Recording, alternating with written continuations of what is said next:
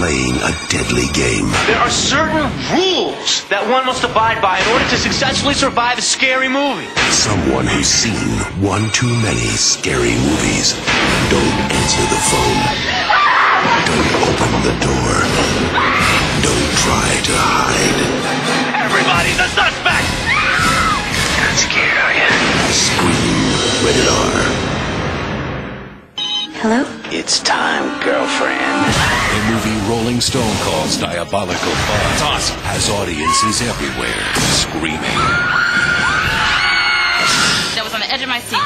The cop car, that was really good. I was just constantly surprised. The whole ride is incredible. I was blown away. I want to know who it is. The ending was a huge surprise. Scream 2. It's great. Rated R.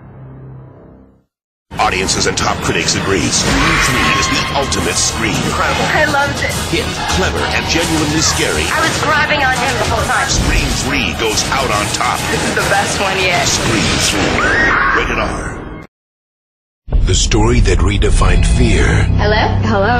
Hello? is back. What's your favorite scary movie? Two girls killed the exact day of the anniversary of the infamous Woodsboro murders. On April 15th, This whole situation's under control. getting scared This isn't a comedy, it's a horror film. has never been this much fun. Should have seen the look on your face. Scream 4. Rated R.